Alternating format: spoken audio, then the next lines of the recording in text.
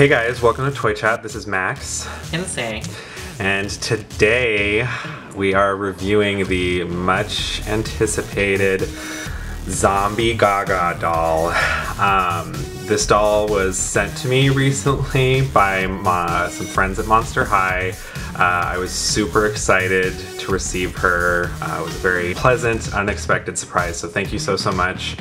Um, we are going to review her for you guys. Uh, so for those who don't know, Zomby Gaga is a um, a special collector's edition doll uh, by Monster High um, that was designed in collaboration with uh, Lady Gaga and primarily her sister, Natali Germanotta. Um, the look for this doll was inspired very heavily by the outfit that Lady Gaga sports in her Born This Way music video. Um, so you see quite a bit of, of that influence throughout the doll. Um, and she's a very special treat for Monster High fans too, because this is, I believe, the only maybe like the third like collector's edition Monster High doll we've got. That wasn't a Comic Con. That wasn't a Comic Con exclusive, yeah. So it's very exciting for Monster High collectors, you know, to be getting another special, you know, deluxe collector's edition doll. Per usual, we're gonna start with the packaging. So Zomby Gaga comes in a very unique box. It's a triangular, you know, loosely Illuminati looking, nice like plastic shell encasing. Um, and you can, you know, see the words Zomby Gaga written across. It's in, you know, the same font, the stylization of Lady Gaga and a lot of, you know, her that she uses for her albums and that kind of thing. And you can see the Monster High logo beneath that. Um, and there's a separate little compartment at the base that is where the stand and um, a second outfit is stored. So yes, oh my goodness, only time we get stands nowadays are for these collector's edition dolls. I believe, don't quote me on this, but uh, you know, it has the mark of the Born This Way Foundation, which is um, Lady Gaga's nonprofit. I believe a portion of the proceeds for this doll go to the Born This Way Foundation, so it is in some part to go towards a charitable cause. And as you can see along the box, there's this little like hot pink lining, which is really cool. And back of the box. Ooh, fancy. Yeah, it's basically a little bio for Zomby Gaga. Um, and it's pretty simple. It's nothing too crazy. Um, you know, she talks about her age, but she's ageless apparently. Definitely, you can tell that this doll was, well, at least started, the concept started before the reboot because it definitely like had the same like format how some of the old dolls had, you know, with the age and the killer mm-hmm. quirks. It says Monster Quirk though instead of with Freaky Flaw. Freaky, yeah. And also, so someone else to credit for the design of this doll is um, so inspired by the artistry of Zombie Boy. Um, it says, which I believe he's a I don't want to say too much about him because I just am not that knowledgeable, but I believe he's an artist and he's the one responsible for, you know, in some to some extent, you know, designing the look for the Born This Way video and etc. So um, some of his information is written on the packaging as well.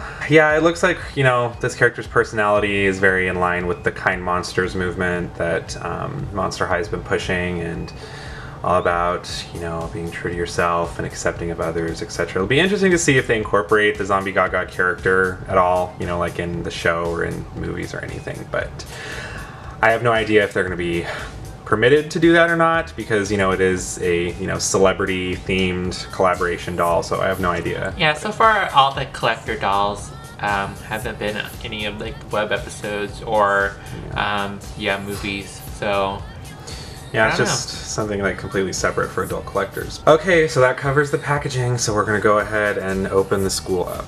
Alright, so we just unboxed um, Zomby Gaga, and here her, here's her uh, close-up. She is rocking some cool designs on her face. First off, she has kind of that, that Skelita smile with the extra Almost like a stitched smile. Yeah, Yeah. it's a very like Or teeth, you know. Yeah. mhm. Um, she has that light pink lipstick on, and uh, her mold is a little extra special because it actually has a little hole in her mouth where her little bubble gum sticks out if you want. Super cute. And I love her bubble gum. So she has the same kind of concept as Ghoul Sports Claudine, where uh, there's a little gum that sticks out of her uh, mouth. Super cute. And also, when you remove it, it looks like she's blowing at you too. Mhm, It's a translucent pink, really adorable. Yeah. Gives off some nice shine. In terms of her makeup, she has this very unique, um, very unique to Monster High. It's, um, she has airbrushed on dark purple eyeshadow that covers both the top and the bottom, um, as well as on her forehead to uh, create that um, sunken in look, as well as these unique little purple pink pupils with little hearts highlights in her eyes. Yeah, what's really interesting about you know the little cracks on on the top, you know, uh, the top of her skull forehead, which I really appreciate, makes her look a lot more. You know, it's funny. She, in some ways, obviously, you know, she looks more skeletal than zombie-like. But what's interest what's interesting about those marks on her forehead, I almost feel like they're kind of interchangeable between. Um, like cracks in a skull, but they almost look very vein-like from certain angles too. So that does give off a little bit of like a zombie vibe. Yeah, definitely all the airbrushing on her face uh, creates this illusion that is extra sunken in. It really highlights those areas. Um, it's very cool. There's a lot going on on the cheekbones too. Yeah. And there's a tiny bit of glitter also throughout um, her eyeshadow, Yeah. which is really nice. It's very subtle, but you see it a lot more when you look at her up close. She even has some, you know, airbrushing on her ears too, which is pretty cool for a doll. Uh, it's definitely um, a step up from some of the airbrushing they have done for some of the new Monster High dolls, where it's kind of just a sticker. This is full on actual airbrushing, so it's definitely worth the extra buck. Yeah, this is a really intricate Monster High face mold. Maybe probably one of the most detailed ones I've seen. Yeah, there's a lot of airbrushing. There's a lot of little indentations and looks different from different angles. And what's really interesting about her face too is that it's as you can see, it's a very pale. And this is the portion that's very zombie-like as well. It's a very pale grayish white, um, but it almost looks slightly translucent from like certain angles. And I'm very curious if you could almost like see through it, kind of, in certain lighting a little bit. I mean, you know, probably not, but it's a very interesting, you know, it doesn't give off the standard, like, you know, rubber head kind of vibe. Yeah. Um, she also comes with a pair of glasses, or sunglasses, I should say.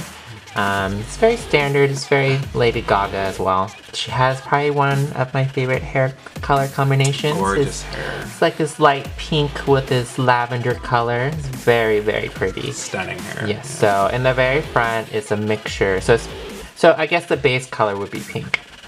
And then uh, on the front peripheral, she has lavender highlights that covers about, you know, half her head. And it's tied up in the ponytail.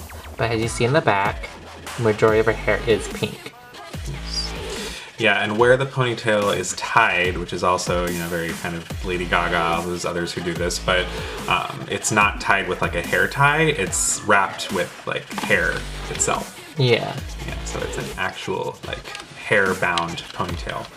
Gorgeous hair, gorgeous face mold. That's like, in my opinion, the reason you buy this. I love the face and the hair. Yeah.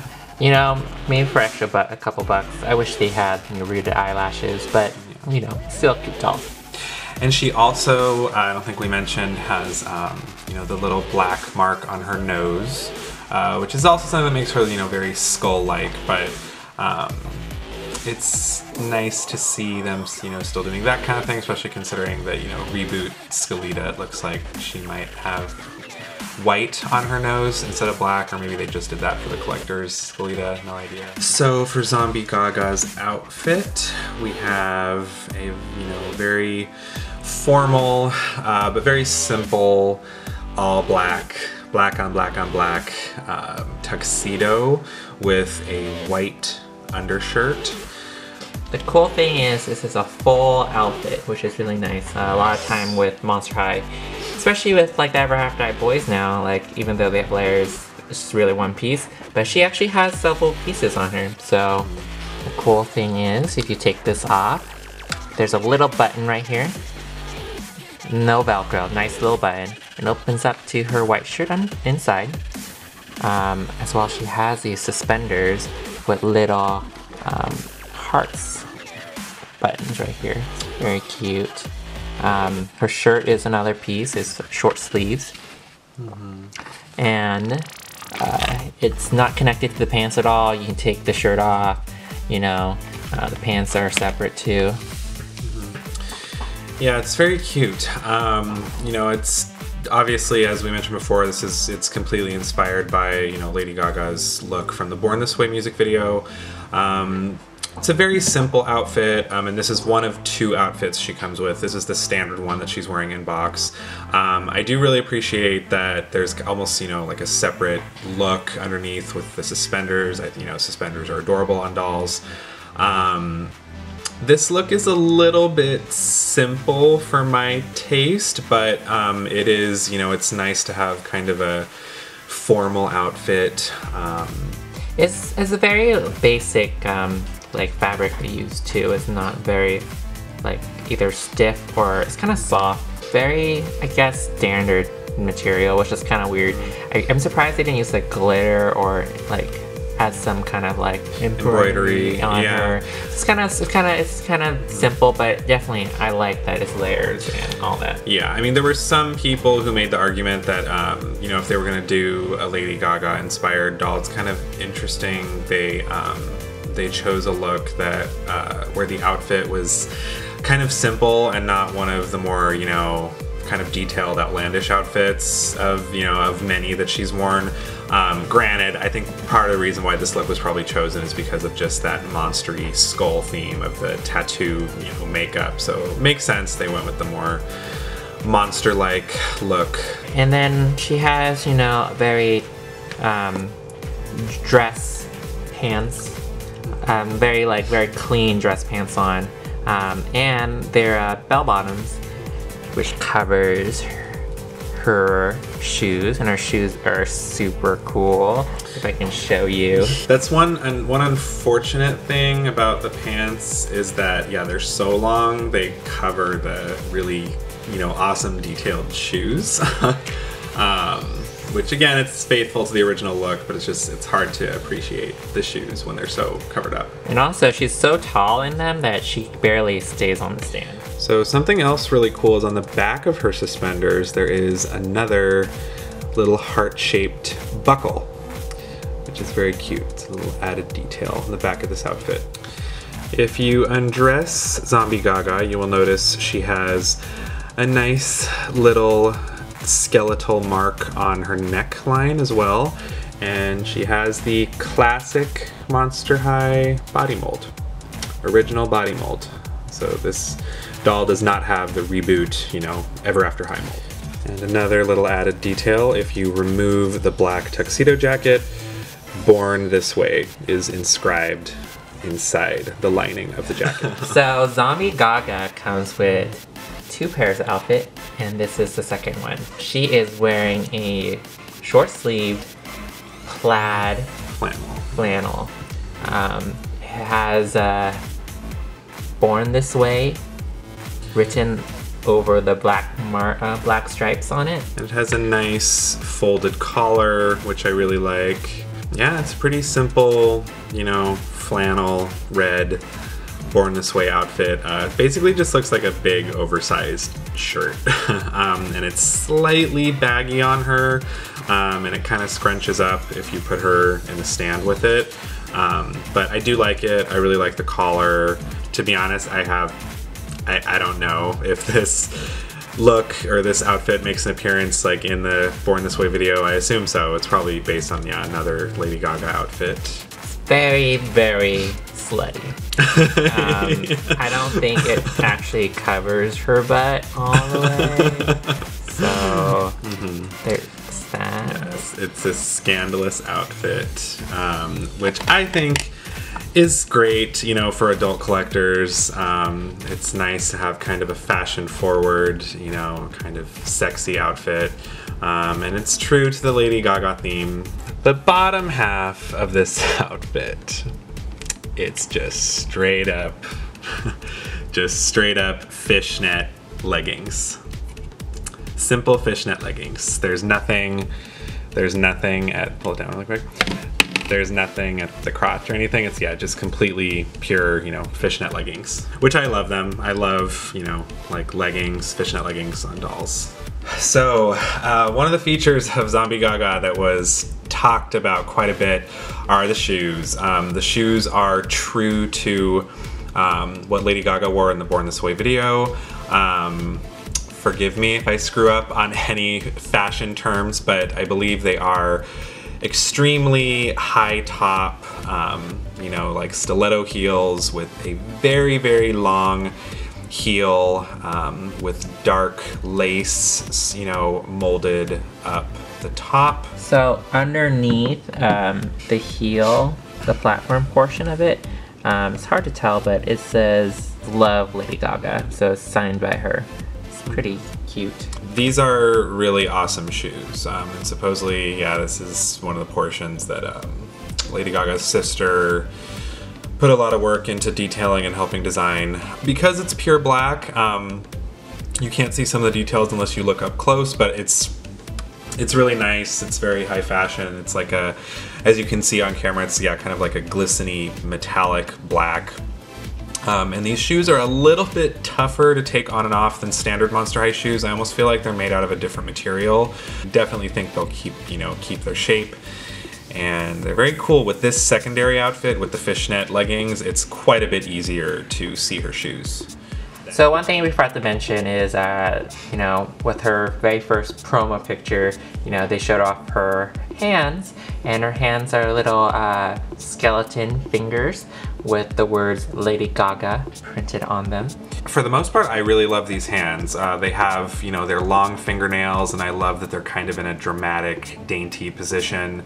Um, and there are little finger bones painted on the top with little black spider webs on the side. So uh, definitely a lot of detail, you know, and paint went into these hands. So thank you uh, to Monster High for sending us this lovely doll. Yes. We love her. It's very beautiful. We already pre-ordered her. We love her. yes. But um, but yeah, she's a she's a very unique doll. I think uh, a lot of thought and you know love went into the creation of this doll. This from head to toe. She's also she's in some ways she's very basic, very like uh, in terms of clothing. She's you know very like modern, um, kind of like everyday attire plus you know formal wear where uh, there's not much going on until you look closely. Uh, you see a lot of Lady Gaga influences, like you see, you know, Born This Way written on her outfit. So it's definitely those subtleties that um, really shows that, you know, whoever was in charge of creating this doll, the team, um, they really love Lady Gaga and Monster High. So uh, I really appreciate that. Um, her face is gorgeous, and I think it's definitely a big selling point to uh, for this doll. You know, for 30 bucks, she's reasonably priced. Um, you know, two outfits plus you get the stand. It's something you don't see too often anymore. I can't really say I'm a big Lady Gaga fan, but uh, the doll's interesting enough for me to, you know, purchase her. It's definitely a doll that I would appreciate outside of those uh, themes. Again, you know, not to offend any little monsters out there, but yeah, speaking as someone who does not follow or listen to Lady Gaga nearly much as I used to, um, I still really love this doll. Um, I think it's a, you know, Zomby Gaga is a gorgeous doll in her own right, even removed from the Lady Gaga theme. Um, I think if you're a Monster High fan in general, I think she's unique and detailed and beautiful enough to add to your collection, especially if you're an adult collector.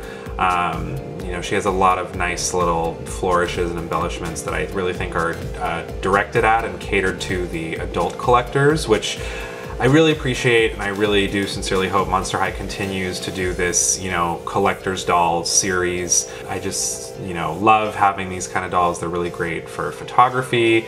And she truly does have a very unique face mold and an amazing, you know, uh, combination of hair colors. Um, and I wouldn't necessarily mind seeing more you know, celebrity themed dolls, although I definitely think, you know, the folks at Monster High are talented and creative enough to come with, you know, their own original characters, but it is very cool to see these real life, you know, parallels to pop culture icons and celebrities. So yeah, it'll be interesting seeing if they do more stuff like that in the future.